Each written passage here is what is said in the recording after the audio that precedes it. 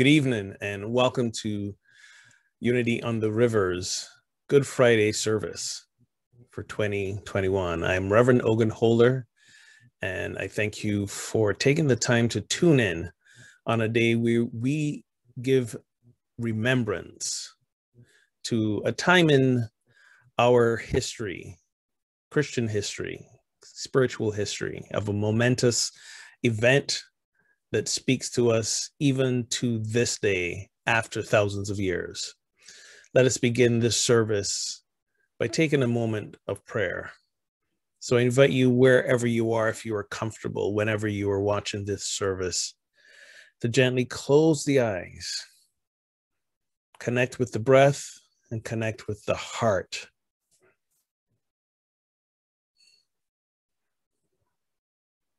And allow ourselves to be open to the meaning and the message of this time.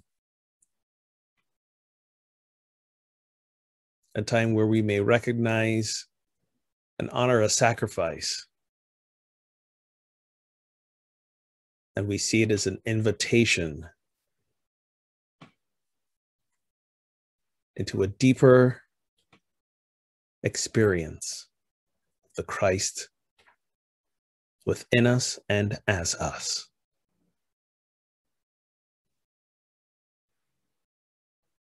Let us this day remember it is a day, a time that is a deep demonstration of love. And for this, we are grateful. And so it is. Amen and amen. And at this time, I'm going to turn it over to Brian, who will treat us with a song.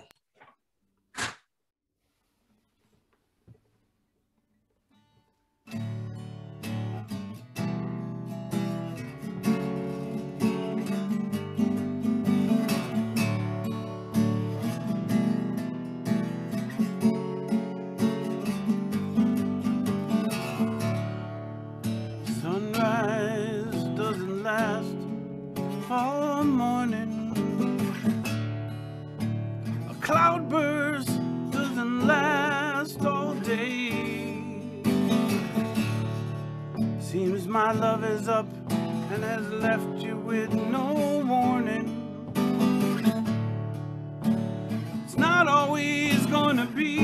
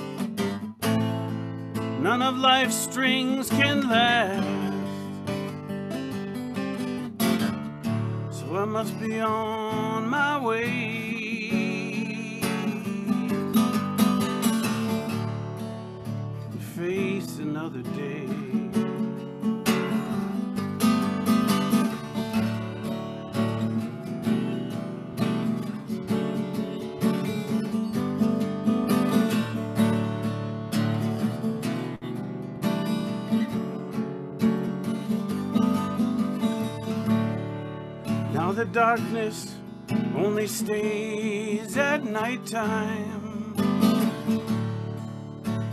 And in the morning it will fade away. Daylight is good at arriving at the right time.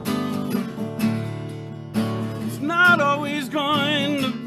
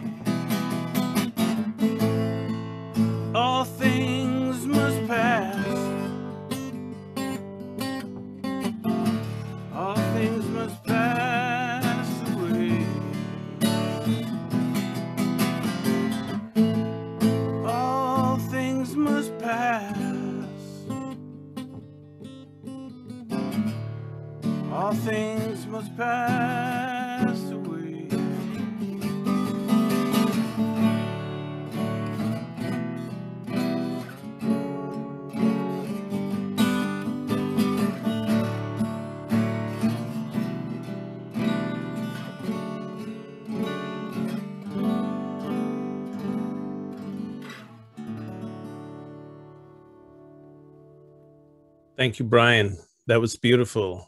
And this evening, we're also joined by our music director, Meg Rain, who will now treat us with All I Ask of You is to mm. remember. Just to remember me as loving you. Yeah.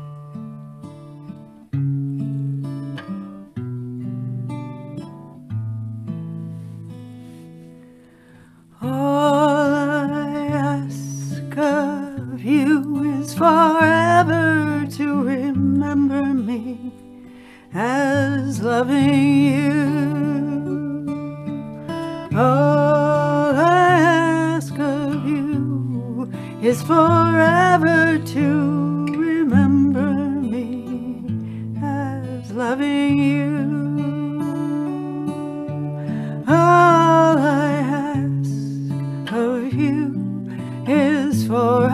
To remember me as loving you.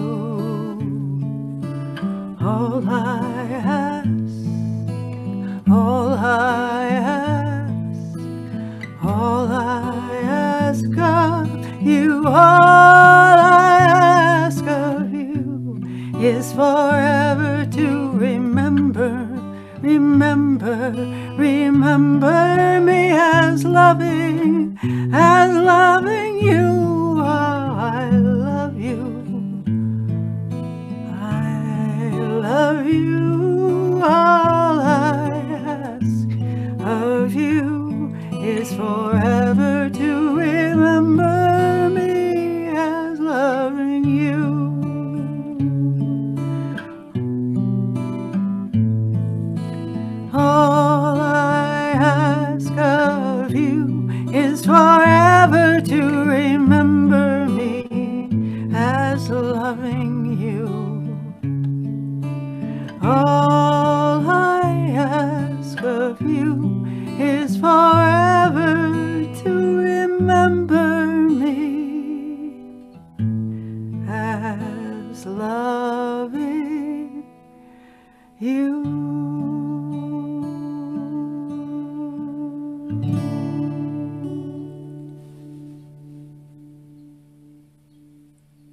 Thank you, Meg. It does bear the question how we choose to remember this day that we observe as Good Friday. How do we choose to remember the man Jesus, the message uh, that he left with us? Uh, you know, traditionally in the Christian story, um, this this day good friday is is recognized as jesus's crucifixion and the crucifixion being recognized as uh, jesus taking on um, all of humanity's uh, sins. He was he was served he was a proxy uh, a, a, a spiritual scapegoat if you will. And i'm not sure if you know where that term scapegoat comes from but it comes out of an ancient Hebrew tradition um, whereby two uh, kid goats that were uh, born of the same parent um, would be brought to the temple, and one of them would be sacrificed, but the other one, the priest would symbolically uh, place the sins of everyone onto this goat and allow it to escape into the wilderness and take all the sins of the people with it. It was literally a goat that was allowed to escape, uh, a scapegoat. And um, Jesus was seen as that in the traditional Christian story. And as a result, seen as this exceptional being, this, this, this figure, this literal one and only Son of God who was placed here for that reason. Um, in, in in unity, we've we've shifted, we've evolved that story. We see Jesus again not as this great exception, but a great example for us to follow. And as you know, when we read, interact, understand, interpret the Bible, we do it through a metaphysical lens that that each each character, each story, each event represents part of our own unfolding. So when we think of the crucifixion story that we that we recognize on Good Friday, where where does that leave us um, from a metaphysical point of view? What is if Jesus is the example? What what is what is he saying for us with his uh, crucifixion. And it's important to sort of recognize a few things here. For example, um, when we say Jesus is a great example in unity, we recognize and view Jesus as we are um, fully human and fully divine in potential as well. And we know over the course of human history, there were there were many other avatars who were able to to touch more of that potential of their divine self and demonstrate it um, in the waking world. We think of Jesus. We think of uh, Siddhartha, who would be who would become Buddha, uh, the Buddha. There, there's so many other countless examples of, of people uh, like this. So so that is our potential as well. That's why Jesus would in his ministry say, "These things you shall do in greater." Um, because he recognized, I think he was trying to say at the time, I am not that unique we are all one and the same. And if I can do this, so can you. If I can be this, so can you. So when it comes to this crucifixion, what is it that we are to do? Are we are we to allow ourselves to be crucified as well? Sort of, but not really. The the crucifixion was a was a um, um, an example that we can replicate more on the metaphysical level and what it's really representing is that idea of of us willing being willing to sacrifice any thoughts and beliefs that would try to tell us that we are anything other than divine and often we hear this uh, in unity and other new thought traditions is we've got to we've got to get uh, get rid of and eliminate the personality we've got to allow the human self of us to dissipate so that all's left is the divine of us. And um, I don't know that that's how I understand it. And part of it is um, let's go to what the cross represents, because in the story, Jesus was crucified on the cross. But when we look at what the cross metaphysically represents, it's really demonstrating this idea of that vertical part of the cross represents the the the current of our divine life, whereas that horizontal represents the current of our human existence. And if you realize the cross doesn't just have a vertical or just have a horizontal, it's got both. So in having both, what that cross says to me metaphysically is that is that we do embrace and live the fullness of our humanity and the fullness of our divinity. And what we know is that our humanity can be flawed in some ways. And the most where humanity is flawed is when we take on ideas and beliefs that tell us we are anything less than divine. When our humanity takes on the ideas that, for example, we are unworthy and do not deserve to be loved, that's less than divine. When our humanity takes on the idea that there's limited resources and that there's lack in our world and lack in our life, and, and we have to hoard so that others uh, can suffer and we're going to be okay, that's denying the, div- the divine truth of abundance in the universe. Again, when it comes to universal abundance, it's not a pie whereby I get some, you get less. No, there's there's it's an infinite supplying. So so if we, I think what's being called of us to do, and what I truly believe, is that when we do our work to eliminate, to cross out, to sacrifice, to to heal these limiting thoughts, these limiting beliefs, we will experience both the fullness of our humanity in a positive way and the fullness of our divinity as well. And that way we can we can unite with a, a greater sense of selflessness and truly realize a spiritual depth like we've never had before. We can truly awaken to the fullness of the possibility that we are as a divine being. Not to jump ahead, but that's really what Easter uh, represents as well. And perhaps one of the most important tools that we can employ to get to this place is a tool of forgiveness.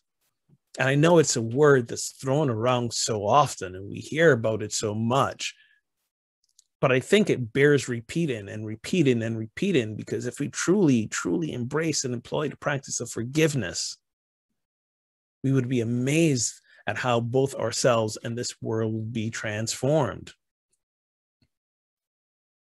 As he hung on the cross in Luke 23, verse 34, we read that Jesus says, Father, forgive them, for they know not what they do more often than not, we don't realize when we are holding ourselves back, punishing ourselves, putting ourselves down with the limited thoughts, with these false beliefs about ourselves. And the forgiveness process starts with ourselves. And when I say forgiveness, think of forgiveness as not necessarily a thing we do, but a state of being that we always walk in. We always walk in a state of forgiveness, a state of realizing that the fear and the resentment and the separation thoughts that we have are not the truth. The truth is of love and oneness. Uh, there's a term that we might have heard in more traditional Christian circles and and and even we read about it in the Bible of repentance. Uh, repentance is this idea of turning away from sinful actions. And, and when we look at it metaphysically, sin is the idea of attempting to negate the truth of our divinity. Any thought, any words, any actions that seek or that, that, that represent anything less than love less than the divinity of who we are. In unity, we consider that a sin. And we're not punished for it, but more, more or less, we suffer. We suffer when we sin, right? Because if we don't demonstrate unconditional love to ourselves and others, it, we suffer, and we know what that feels like. It feels like separation. It feels like loss. So the idea of, of forgiveness is truly turning away from those thoughts that we are anything less than divine.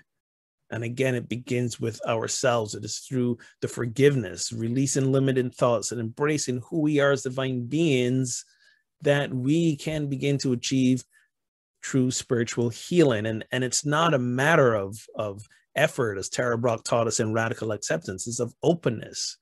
Are we open to the idea of forgiving others? Are we open to the idea of of releasing the the limiting belief we have of others are we open to the idea of releasing the limiting beliefs we have of ourselves are we willing to release our attachments and our resentments Or do we truly want to still hold on to them and, and believe them about ourselves and about our others and the world? And don't get me wrong, this is very, very challenging. And we have evidence of out there in the world every day of folks not doing that. But the point is, we need to see that and remember that we lead by example. Just as Jesus led by example, so do we lead by example. This entire Holy Week has been a little bit of a bittersweet sort of Holy Week for me. It's the last one that I will be here serving as your minister of unity on the river. And, and today is, uh, as we speak about this forgiveness element, it's really important moving forward as a spiritual community that we all walk in that space of forgiveness. Forgiveness for me as your minister who may have disappointed you in a lot of ways. Forgiveness for those who have left this community, for those who have left, forgiveness and release of the resentments that they may have against the community and have against me. Why is that important? So that so that when we get to this place of of of returning as a body together in person and celebrating and moving forward we do so in a new awakened state that no longer is rooted in anger, in resentment, in negativity, but in true love for community. So I invite you between now and Easter Sunday and beyond to embrace this idea of Good Friday and the crucifixion as a message, of a message of forgiveness, as a message of releasing, searching and releasing any resentments, any anger, any disappointments for what has been and what hasn't been, any fears about what might come simply allow yourselves to rest in that place of releasing, releasing, so that individually and collectively you can arise and awaken to even more of the divine that you are and the good human that we have the potential to be. So I'm going to invite us to take this into a time of meditation, and Meg will lead us in with the song Stay With Me.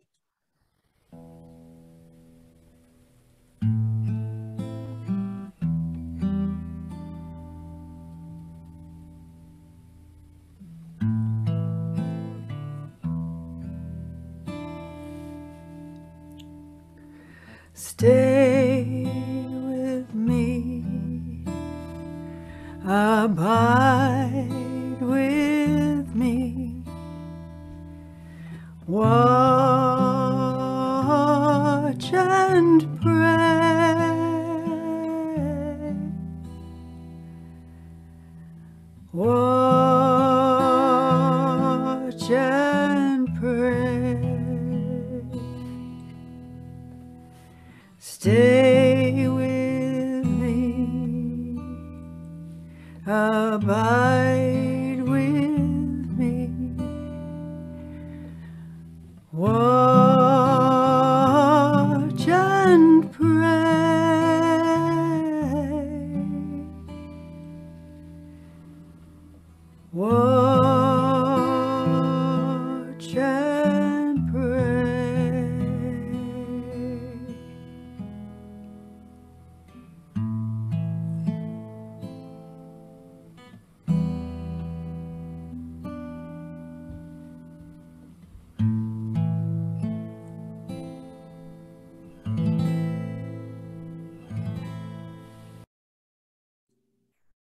let us continue in that energy of watching and praying. If you haven't done so yet, I invite you to gently close the eyes. Take a deep breath.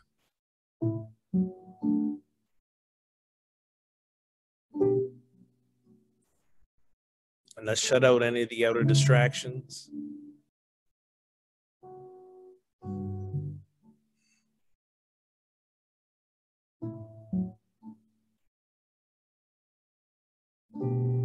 Connect with the body.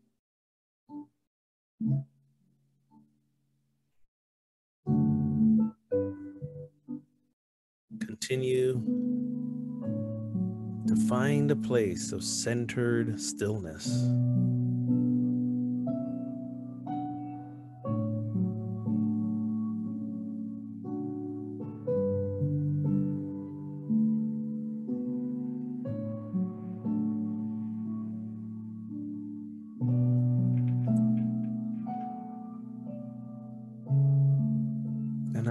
Ourselves to be open to the possibility of forgiveness.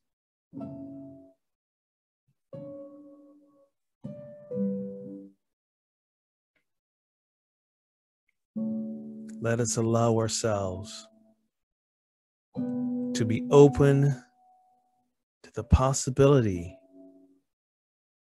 of deep healing.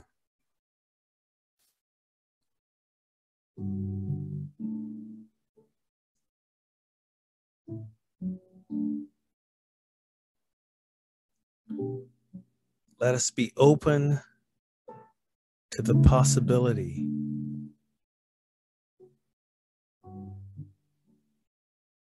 of fully loving ourselves.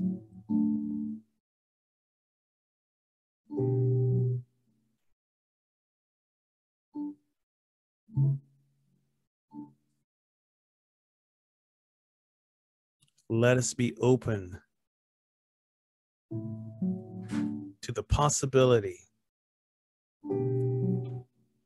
that we are unlimited divine beings.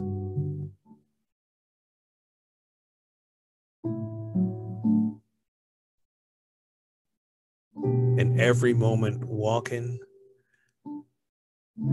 from divine love, divine peace.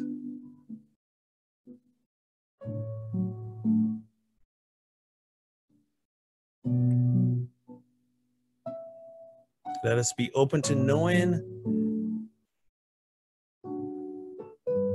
that as feelings and beliefs that would say to us we are anything less than divine arise. We see them, we acknowledge them without judgment, we release them.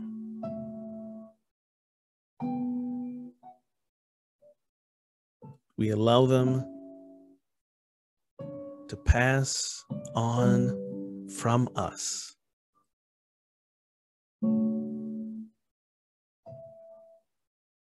So that we simply always walk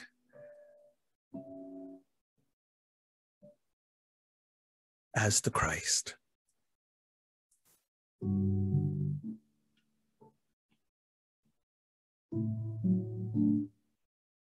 It is who we have been called to be. And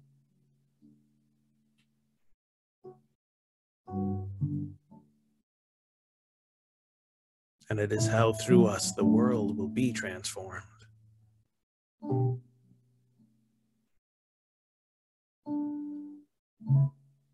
So let us rest in that knowledge for a few moments in the silence.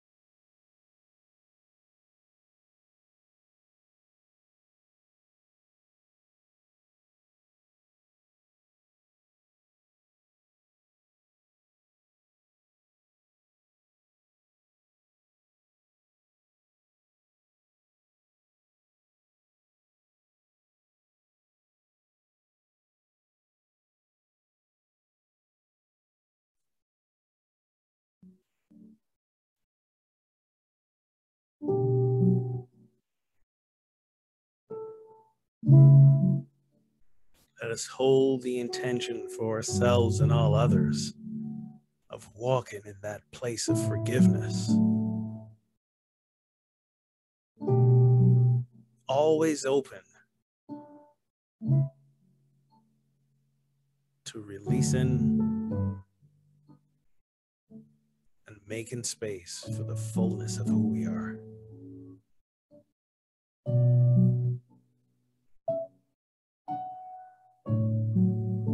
This way, we always walk in peace. We always walk in connection of oneness.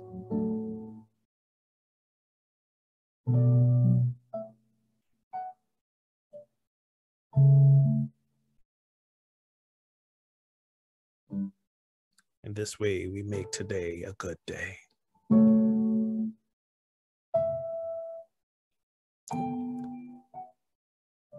So let this be the message from the life of the man Jesus and the Christ. A message of peace.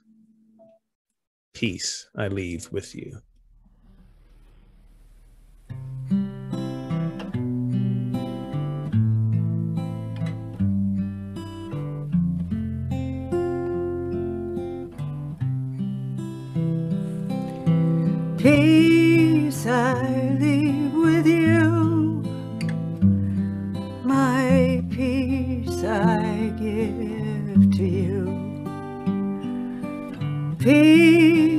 I leave with you.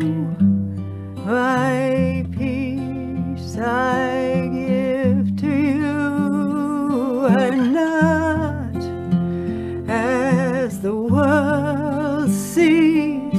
So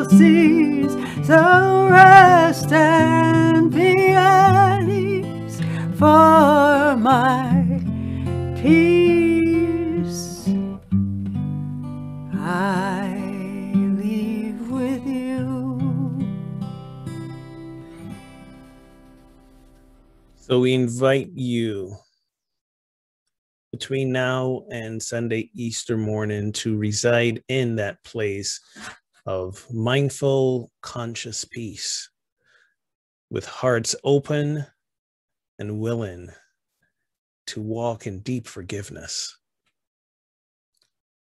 of deep release, of deep love for yourself and others. And we will see you on Easter Sunday morning. Namaste.